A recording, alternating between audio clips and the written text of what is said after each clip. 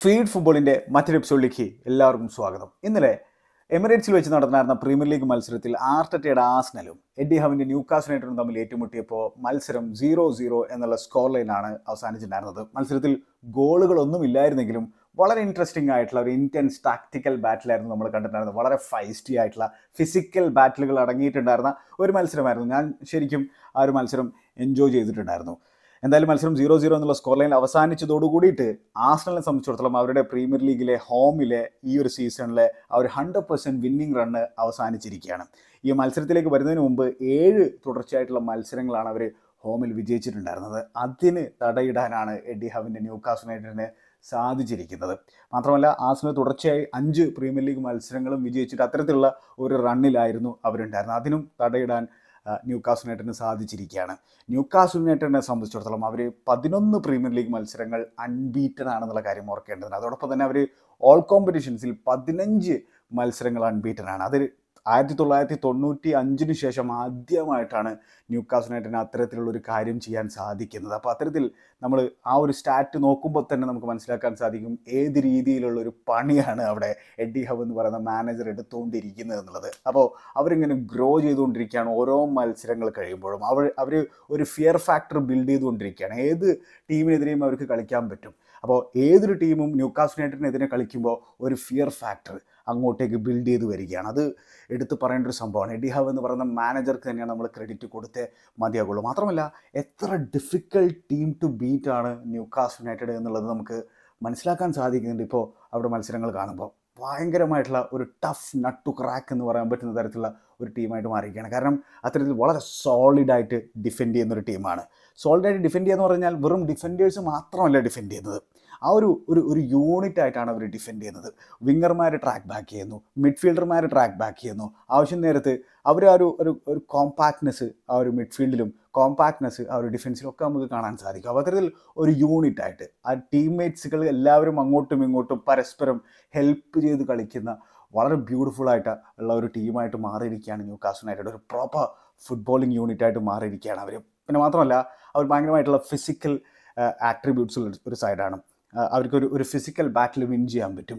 മാത്രമല്ല ഫൗളുകൾ അവർ ആവശ്യം നേരത്തെ നടത്തുന്നത് നമ്മൾ കണ്ടിട്ടുണ്ട്. ടാക്റ്റിക്കൽ ഫൗളുകൾ അവർ നടത്തും.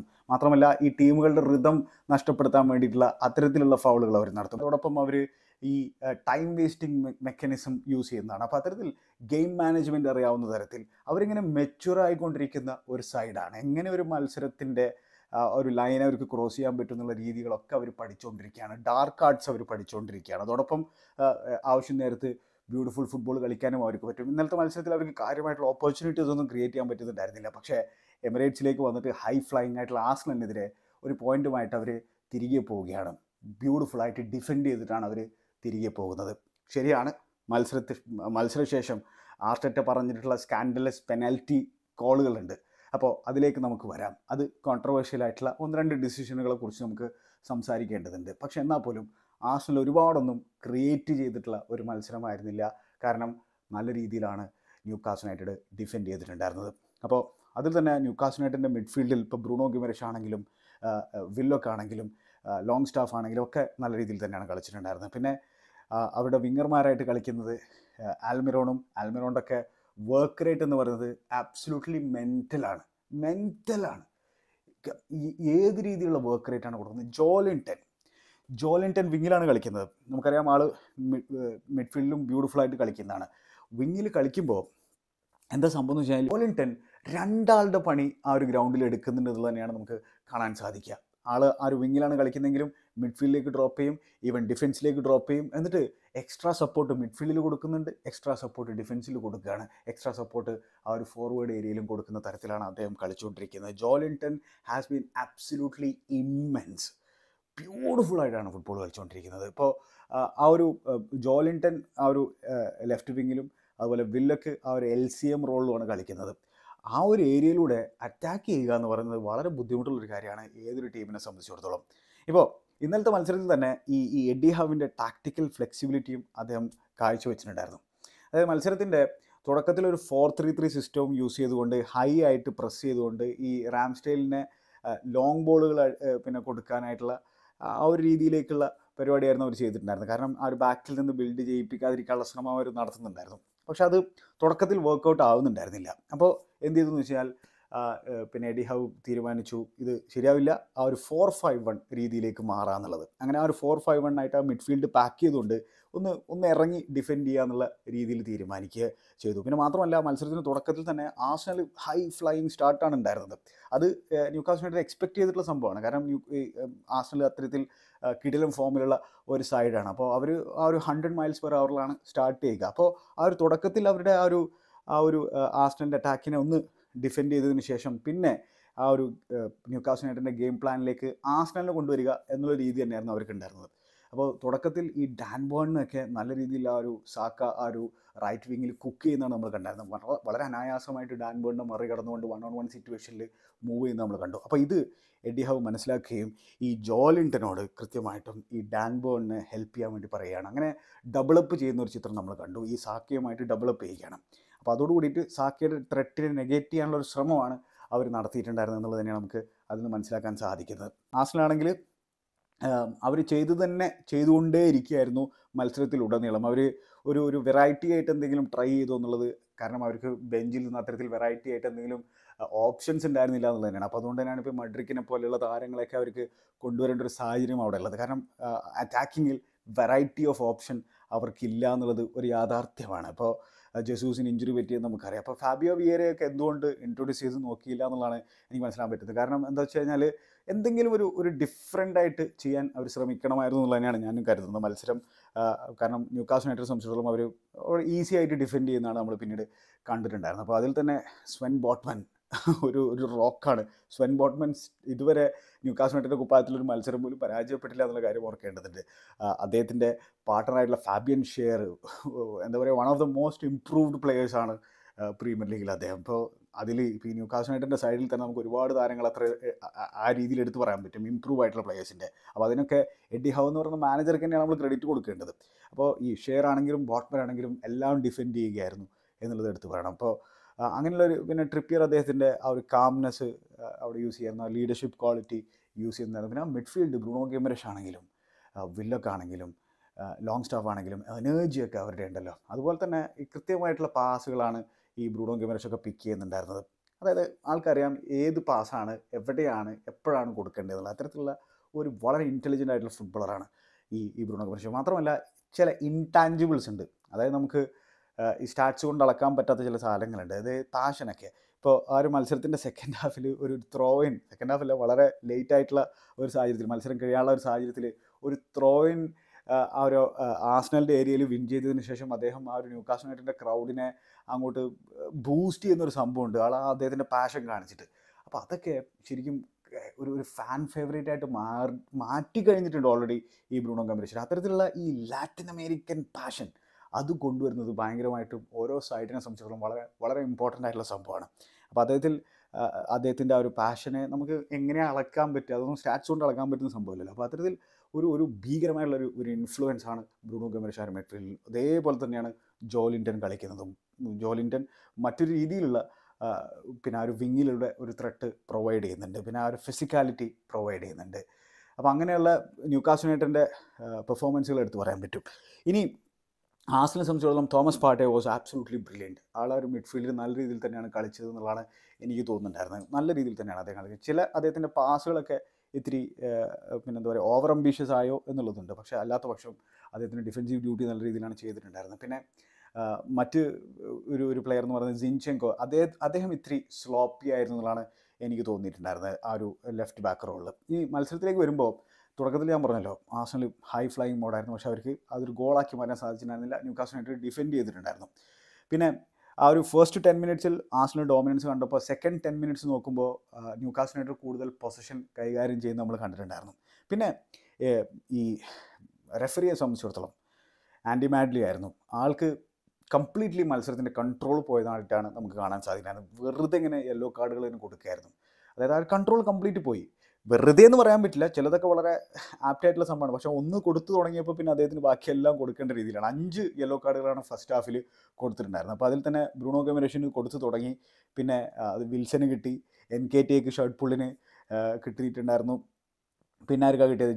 ചാക്കയ്ക്ക് ഒരു- ടാക്കിൾ ഷെയറിന് അതായത് ടീംമേറ്റ്സ് ആണ് സ്വിറ്റ്സർലാൻഡ് ടീംമേറ്റ് അദ്ദേഹത്തിന് ടാക്കിൾ ചെയ്തതിന് ഒരു യെല്ലോ കാർഡ് കിട്ടിയിട്ടുണ്ടായിരുന്നു.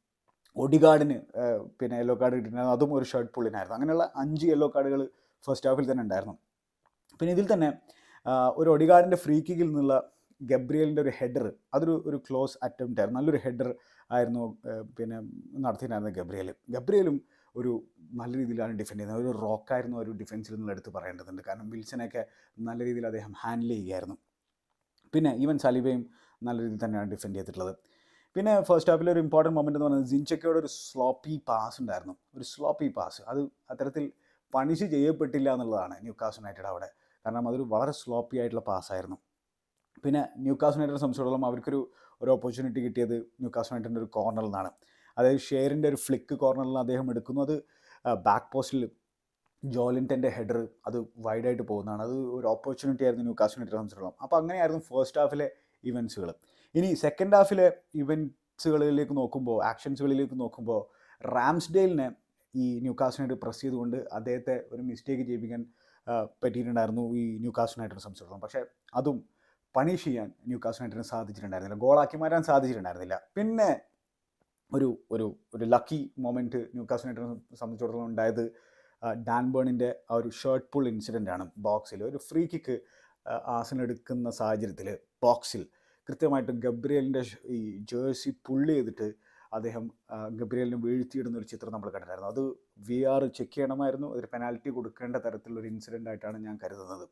അതെന്തുകൊണ്ട് വി ആർ ചെക്ക് ചെയ്തില്ല എന്നുള്ളത് സ്വാഭാവികമായിട്ടും ആസനൽ ഫാൻസിനെ സംബന്ധിച്ചിടത്തോളം അത് സങ്കടം ഉണ്ടാക്കുന്ന ഒരു കാര്യമായിരിക്കും. കാരണം വളരെ ക്രൂഷ്യലായിട്ടുള്ള മൊമെന്റിൽ ഏകദേശം അറുപതാമത്തെ മിനിറ്റിലെങ്ങാനും ആയിരുന്നു അത് സംഭവിച്ചതെന്നുള്ളതാണ് എന്റെ ഓർമ്മ. അപ്പോൾ ആ ഒരു സമയത്ത് അവർക്ക് ആ ഒരു പെനാൽറ്റി ലഭിച്ചിരുന്നെങ്കിൽ ആ ഒരു ലീഡ് എടുക്കാൻ സാധിച്ചിരുന്നെങ്കിൽ ഗെയിമിന്റെ സ്വാഭാവികമായിട്ടും ആ ഒരു എന്താ പറയുക പാറ്റേൺ മൊത്തം മാറുമായിരുന്നു. അപ്പോൾ അത് ഒരു ഒരു ഡോഡ്ജി ഡിസിഷൻ ആയിരുന്നു അത്. അങ്ങനെ ആ ഒരു സംഭവമുണ്ട് പിന്നെ മത്സരം ഇങ്ങനെ പുരോഗമിക്കുകയാണ്. ന്യൂക്കാസ് യുണൈറ്റഡ് നല്ല രീതിയിൽ ഡിഫെൻഡ് ചെയ്യുകയാണ്. അതിനിടയിൽ ആസ്നലിന്റെ ഒരു ഒടികാടിന്റെ ഒരു കോർണറിൽ നിന്ന് മാർട്ടിനലിയുടെ ഒരു ഒരു ഹെഡർ നല്ലൊരു ഹെഡറായിരുന്നു പക്ഷെ അതും ജസ്റ്റ് വൈഡായിട്ട് പോകുന്നതാണ് നമ്മൾ കണ്ടത്. അപ്പോൾ പിന്നെ നിക് പോപ്പിന്റെ നല്ലൊരു നല്ലൊരു സേവ് നമ്മൾ കണ്ടിട്ടായിരുന്നു towards end of the game അപ്പോൾ അത് ഷെയറിന്റെ അദ്ദേഹത്തെ തട്ടിയിട്ട് അത് എൻ കെ ടിയിലേക്ക് എത്തുകയാണ്. എൻ കെ ടി ബോക്സിൽ നല്ല രീതിയിലുള്ള ഫസ്റ്റ് ടച്ച് എടുക്കുന്നു. നല്ലൊരു അറ്റംപ്റ്റാണ് അദ്ദേഹം നടത്തിയിരുന്നത്. പക്ഷേ നിക് പോപ്പ് അവിടെ സേവ് ചെയ്യാണ് നിക് പോപ്പ് ഒരു കമാൻഡിങ് പ്രസൻസ് ആണ്. അദ്ദേഹത്തിന്റെ ഷോർട്ട് സ്റ്റോപ്പിംഗ് എബിലിറ്റി ഭീകരമാണ്. ഇപ്പോൾ ആറ് തുടർച്ചയായിട്ടുള്ള ക്ലീൻ ഷീറ്റുകളാണ് ന്യൂ യുണൈറ്റഡ് നേടാൻ സാധിച്ചിരിക്കുന്നത്. അത് ചെറിയൊരു കാര്യമൊന്നുമല്ല.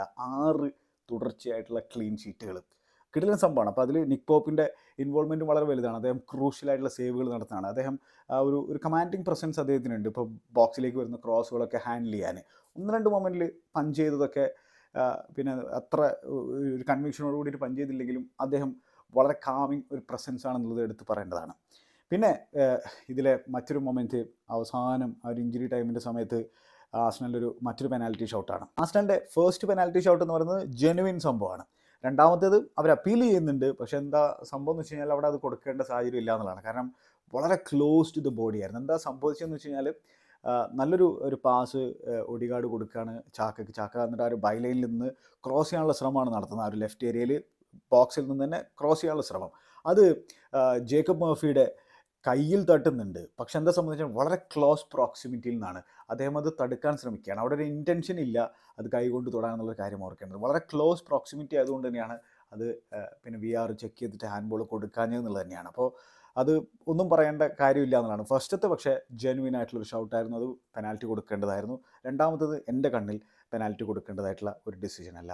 അപ്പോൾ അങ്ങനെ മത്സരം സീറോ സീറോ എന്നുള്ള സ്കോർ ലൈനിൽ അവസാനിക്കുന്നതാണ് നമ്മൾ കണ്ടത്.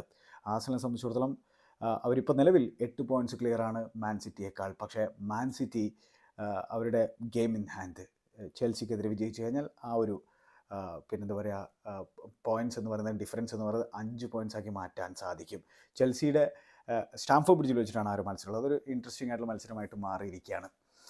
പിന്നെ ന്യൂക്കാസ് യുണൈറ്റഡിനെ സംബന്ധിച്ചിടത്തോളം അവർ ഹൈ ഫ്ലൈയിങ് തന്നെയാണ്. ശരിയാണ് ഇപ്പോൾ കഴിഞ്ഞ മത്സരം അവർ സമനിലയിലാണ് അവസാനിച്ചിട്ടുള്ളത്. പക്ഷേ ഈ മത്സരം എമിറേറ്റ്സിൽ അവർക്ക് ഒരു ഒരു ഒരു പോയിന്റ് നേടാൻ സാധിച്ചത് അവരെ സംബന്ധിച്ചിടത്തോളം കിടലാണ് അവരുടെ കോൺഫിഡൻസ് ഇങ്ങനെ വർദ്ധിച്ചുകൊണ്ടിരിക്കുകയാണ് അവരിങ്ങനെ ഗ്രോ ചെയ്തുകൊണ്ടിരിക്കുകയാണ് ആസ് എ ടീം അവരിങ്ങനെ മെച്യൂർ ആയിക്കൊണ്ടിരിക്കുകയാണ് ആസ് എ ടീം അവർ ചെയ്യുന്ന ഓരോ പ്രവൃത്തിയിലും ഒരു കൺവിക്ഷൻ അവിടെ വന്നുകൊണ്ടിരിക്കുകയാണ്. ഓരോ പ്ലെയറിനെയും ഈ എഡി ഹാവ് ഇമ്പ്രൂവ് ചെയ്യുന്നത് നമുക്ക് ഇങ്ങനെ കാണാൻ സാധിക്കുന്നുണ്ട്. മാത്രമല്ല ഒരു പ്രോപ്പർ യൂണിറ്റ് ആയിട്ടാണ് അവർ ഫുട്ബോൾ കളിച്ചുകൊണ്ടിരിക്കുന്നത് അതിന് നമുക്ക് എഡി ഹാവിന് ക്രെഡിറ്റ് കൊടുത്തേ മതിയാകുള്ളൂ. അപ്പോൾ ഇൻട്രസ്റ്റിംഗ് ആയിട്ടുള്ള മത്സരമായിരുന്നു. അതിനെക്കുറിച്ചാണ് ഞാൻ സംസാരിച്ചത്. നിങ്ങളുടെ അഭിപ്രായങ്ങൾ എന്തായാലും കമന്റ് ബോക്സിൽ രേഖപ്പെടുത്താൻ മറക്കരുത്. മറ്റൊരു അധ്യായത്തിൽ നമുക്ക് വീണ്ടും കാണാം. Good bye